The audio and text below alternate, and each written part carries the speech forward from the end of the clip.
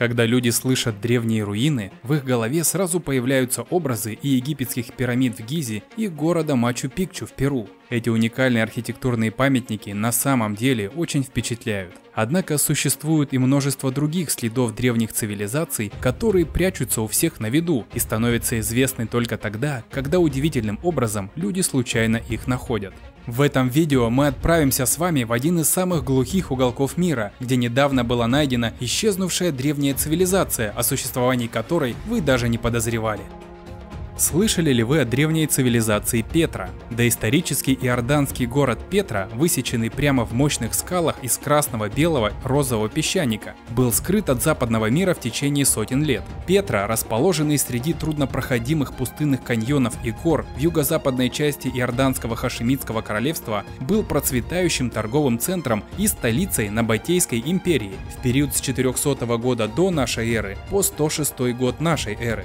Удивительно, однако, то, что существуют и другие подобные древние города с потрясающими сооружениями, о которых никто не говорит. Между этими городами сотни километров, но есть много причин полагать, что их строили одни и те же древние мастера. Как такое возможно? До того, как Набатеи были завоеваны и поглощены Римской империей, они управляли обширной территорией Ближнего Востока, простиравшейся от современного Израиля и Иордании до северной части Аравийского полуострова. В этом районе и сегодня можно найти остатки их новаторских систем сбора, хранения и транспортировки воды.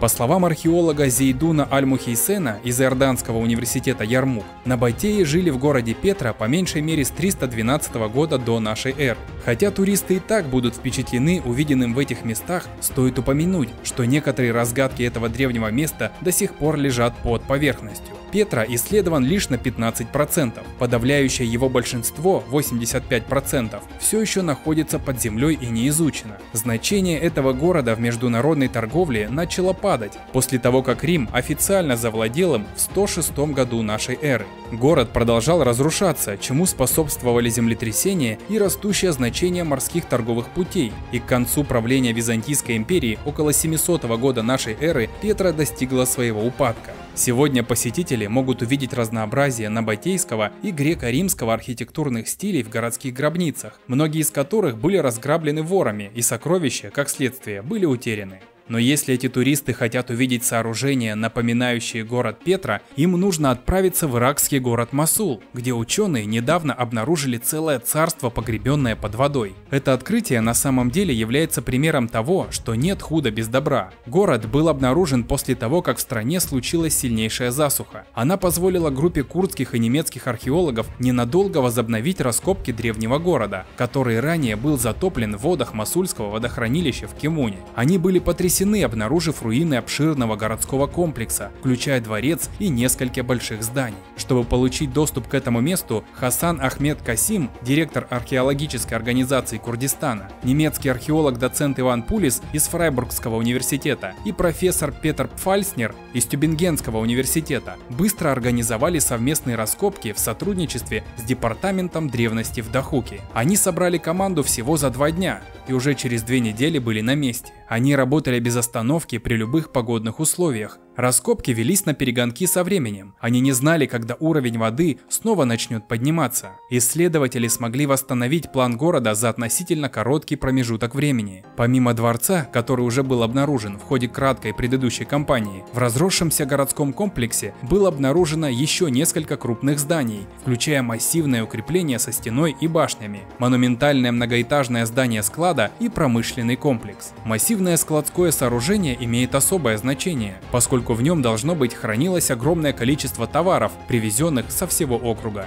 Метани – одно из индоиранских царств и небольших государств в Месопотамии и Сирии. Оно долгое время боролось с Египтом за контроль над современной Сирией, впоследствии установив дружеские отношения с Южным царством. Царь Шаушатар, правивший в Метане с 1500 по 1450 год до нашей эры, считается самым выдающимся правителем. Царство Метани прекратило свое существование при царе Тушрате, во время правления которого хеты разрушили столицу в Ашукане. Тушрата был убит в 1360 году до нашей эры. После присоединения к хетскому царству под новым названием Ханигальбат территория Метани была захвачена ассирийцами, которые превратили ее в провинцию своей империи.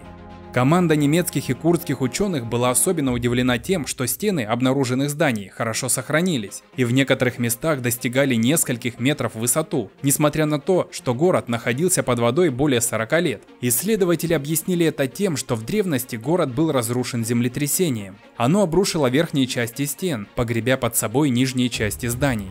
Результаты раскопок показывают, что это место было важным центром в империи Митани. Археологи также обнаружили здесь редкие красные и синие настенные росписи. Несмотря на то, что сохранившихся образцов было найдено немного, команда считает, что они были обычным явлением во дворцах того времени. Интересно, что Кимун это только второй объект в регионе, где были обнаружены настенные росписи периода Митани. Помимо обнаружения зданий, археологи совершили еще одну важную находку. Они обнаружили пять керамических сосудов, содержащих содержащих более чем 100 табличек шумеро-аккадской клинописи, относящихся к среднеассирийскому периоду, вскоре после того, как город был разрушен землетрясением. Согласно данным пресс-релиза, некоторые глиняные таблички, возможно письма, все еще оставались в своих глиняных конвертах. Глиняные конверты, похожие на современные бумажные конверты, использовались для упаковки клинописных табличек во втором тысячелетии до нашей эры. Исходя из археологического контекста, исследователи полагают, что клинописный текст принадлежал частному среднему сирийскому архиву. Однако прежде чем делать какие-то выводы, необходимо провести дополнительные исследования.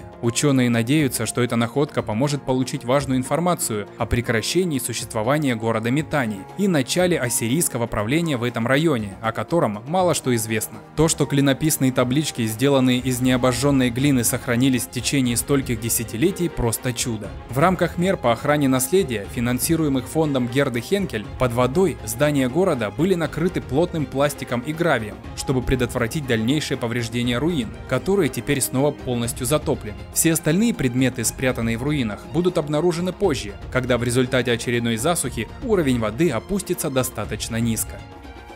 Еще одним местом, имеющим еще более поразительное сходство с городом Петра, является древний город Хегра в Саудовской Аравии. Но есть и другая причина, по которой ученые с нетерпением следят за этим затерянным городом. В пустыне, покрытой кустарником, к северу от оазиса Аль-Ула в Саудовской Аравии, среди скал и гигантских валунов размером со здание, находится удивительный город Хигра, украшенный искусной резьбой с фронтонами и колоннами в античном стиле. Археологический памятник Хигра, который также называют Мадайн Салих, когда-то был процветающим центром международной торговли, но сейчас он остается практически нетронутым уже почти 2000 лет. Тем не менее, Саудовская Аравия впервые открыла это место для туристов. Посетители не могут не заметить что вырубленные в скале сооружения в Хегре похожи на те, что находятся в городе Петра, в нескольких сотнях километров к северу в Иордании. Хигра был вторым городом Набатейского царства, но именно она может стать ключом к разгадке секретов почти забытой древней цивилизации. Саудовская Аравия, решительно настроенная отучить свою экономику от нефтепровода, делает ставку на туризм как новый источник дохода. В настоящее время на нефть приходится 90% экспортных доходов страны и около 40% ее ВВП. Наследный принц Мухаммед бен Сальман Аль-Сауд объявил о видении Саудовской Аравии 2030, плане развития страны на два десятилетия с целью превращения ее в глобальный центр торговли и туризма, соединяющий Африку, Азию и Европу. Недавно Саудовская Аравия начала выдавать туристические визы, позволяя въезжать в страну обычным посетителям без деловой или религиозной цели. Хегра с ее загадочной и привлекательной архитектурой – отличный выбор для туристической рекламы Саудовской Аравии. Привлекательность города Хигра во многом обусловлена тем, что несмотря на сходство с городом Петра, он мало известен для посторонних и по данным ЮНЕСКО может быть классифицирован как объект всемирного наследия, находящийся под угрозой исчезновения. И хотя Хигра впервые предстает перед туристами, история древней империи, ответственной за ее существование, похоже утеряна. На Батеи, пожалуй, одна из самых загадочных и увлекательных цивилизаций, о которой многие даже не слышали. Что это были за люди, создавшие город Хигра? Откуда они появились? Появились, как долго они здесь жили. Набатеи были кочевниками, жившими в пустыне, ставшими мастерами-торговцами, контролирующими торговые пути благовоний и пряностей через Аравию и Иорданию в Средиземное море, Египет, Сирию и Месопотамию. Караваны, запряженные верблюдами, нагруженные кучами ароматного перца, корня имбиря, сахара и хлопка, проходили через Хигру, провинциальный город на южной границе королевства. Набатейцы также стали поставщиками ароматических веществ, таких как ладан и мира, которые высоко ценились в религиозных церемониях. Период с 4 века до нашей эры по 1 век нашей эры, когда расширяющаяся Римская империя присоединила и поглотила их огромную территорию, включавшую современную Иорданию, Синайский полуостров Египта и части Саудовской Аравии, Израиля и Сирии, набатейская самобытность постепенно исчезла. Забытая Западом на многие века Петра была вновь открыта швейцарским исследователем Иоганном Людвигом Бургхартом в 1812 году. Но, пожалуй, большинство западных людей впервые увидели город Петра лишь полтора века спустя, когда в 1989 году появился фильм «Индиана Джонс и последний крестовый поход». Сложность изучения набатеев состоит в том, что они оставили после себя очень мало фактов собственной истории. При нынешней популярности города Петра трудно поверить, что мы так немного знаем о его создателе. Большая часть того, что нам известно о набатеях, получена из документов, написанных чужеземцами, например, древними греками, римлянами и египтянами. Мы также мало знаем о них, потому что нет книг и других источников, написанных ими, которые рассказывали бы нам о том, как жили, умирали и поклонялись своим богам представители этой цивилизации у нас есть лишь некоторые сторонние источники. То есть набатеи рассказывали о себе, но не оставили больших мифологических текстов, как это сделала Месопотамия с Гильгамешем. Как и Петра, Хигра – это город, называемый некрополем, то есть большинство оставшихся сооружений, которые мы можем наблюдать здесь сегодня, это гробницы. И большая часть архитектурных памятников города, ожидающей раскопок, уже потеряна в буквальном смысле слова в песках времени.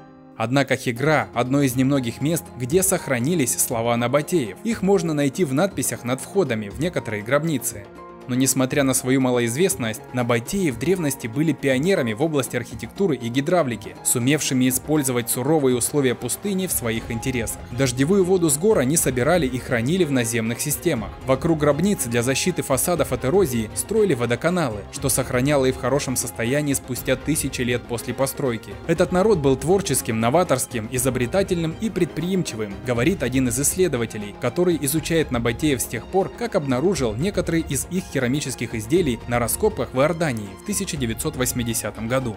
Это совершенно потрясло меня, делится он. В Хигре 111 тщательно вырезанных гробниц, что гораздо меньше, чем более 600 в Петре, столице Набатеи. С другой стороны, гробницы в Хигре часто оказываются в более хорошем состоянии, что позволяет посетителям ближе познакомиться с забытой цивилизацией. На строительство этих сооружений явно повлияла классическая греческая и римская архитектура. Многие гробницы украшены колоннами с капителями, поддерживающими треугольный фронтон над дверным проемом или широкой табличкой. Сфинксы, орлы и грифоны с расправленными крыльями – важные символы в греческом, римском, египетском и персидском мире, угрожающие парят над входами в гробницы, чтобы отпугивать злоумышленников.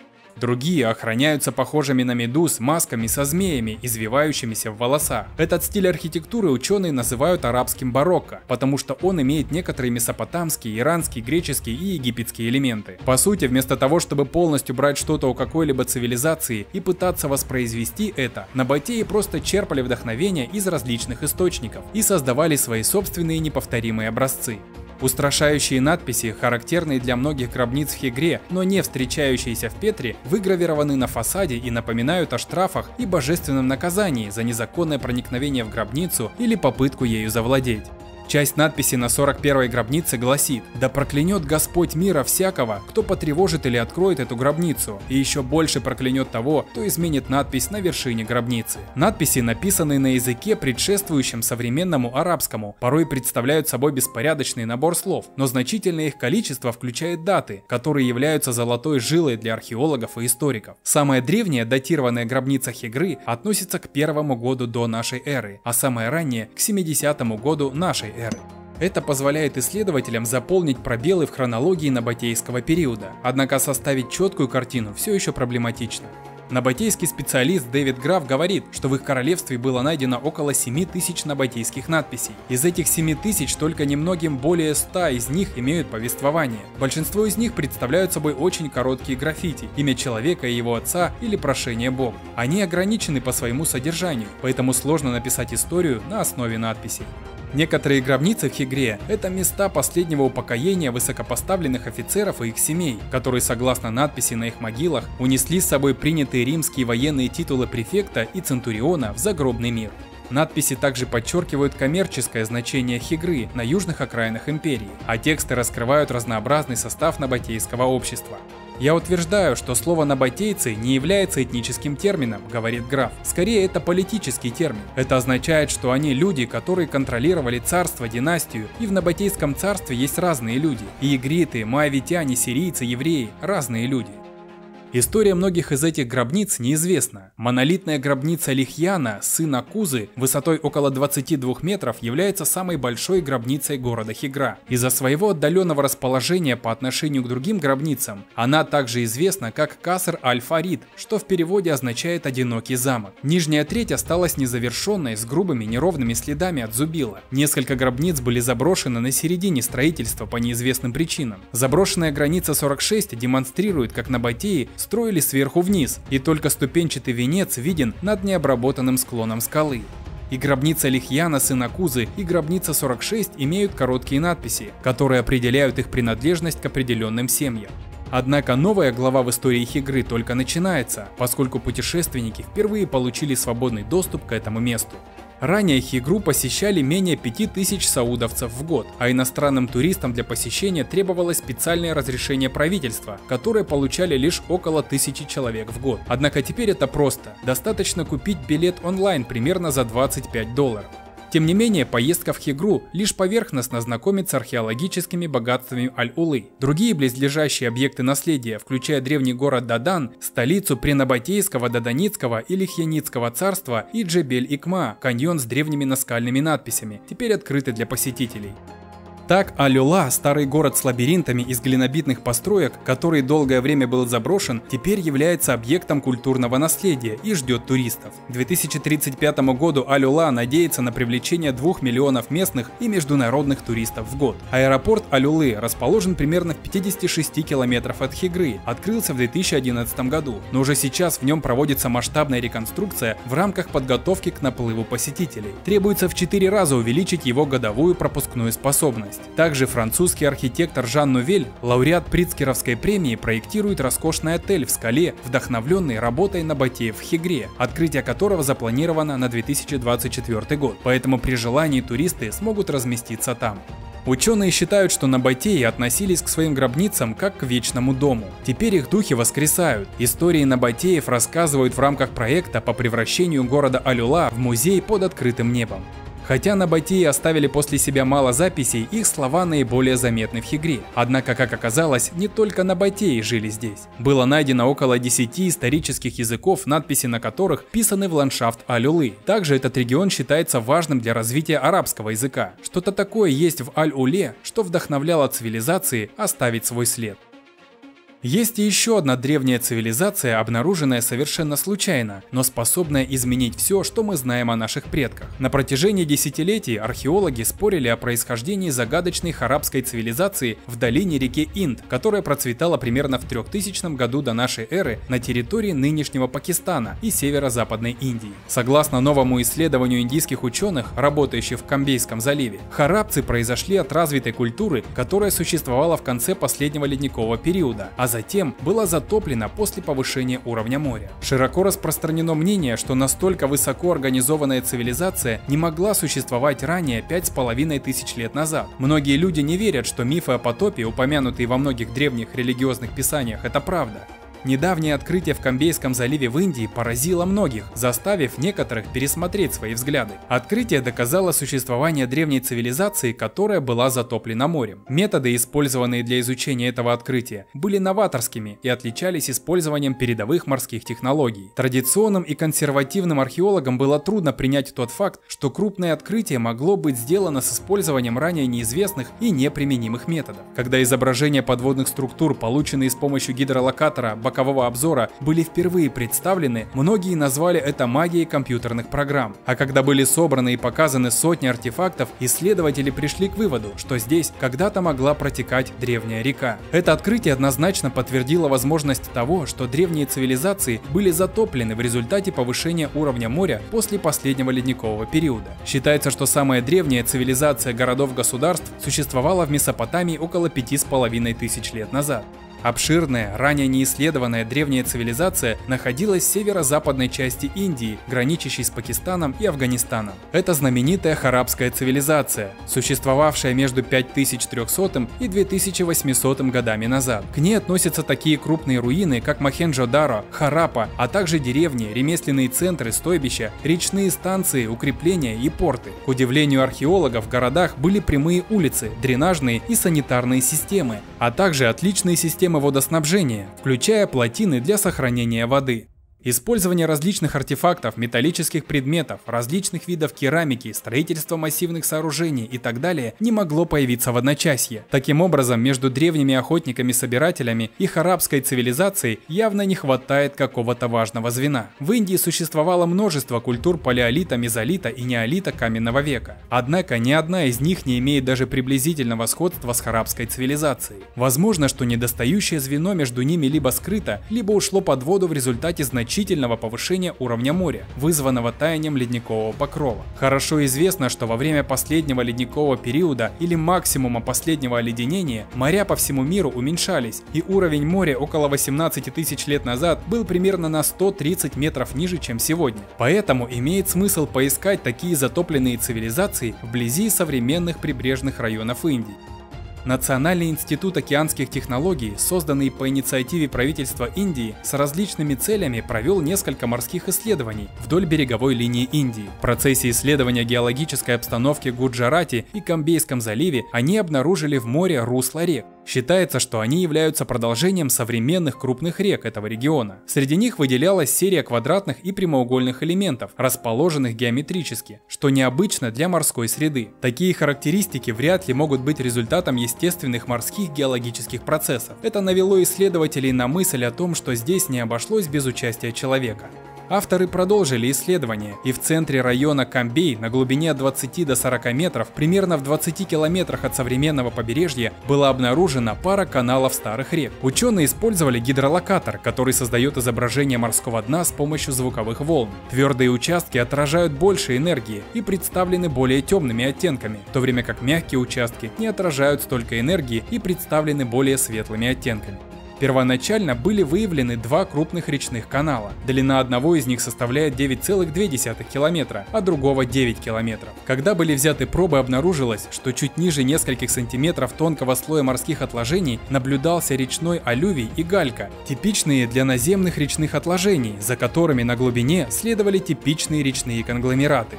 Такие свидетельства подтвердили, что территория, ныне погруженная в море, когда-то была сухой землей, по которой протекали реки. Под воздействием различных факторов они были затоплены и теперь лежат под водой. Гидролокационные изображения выявили геометрические образования в 9-километровом русле в море, примерно в 20 километрах к западу от прибрежной зоны реки Хазира. На глубине от 20 до 40 метров по обе стороны канала наблюдались подвальные образования в виде сетки. Они напоминают город, который имеет четкую планировку, включая включают здания и улицы.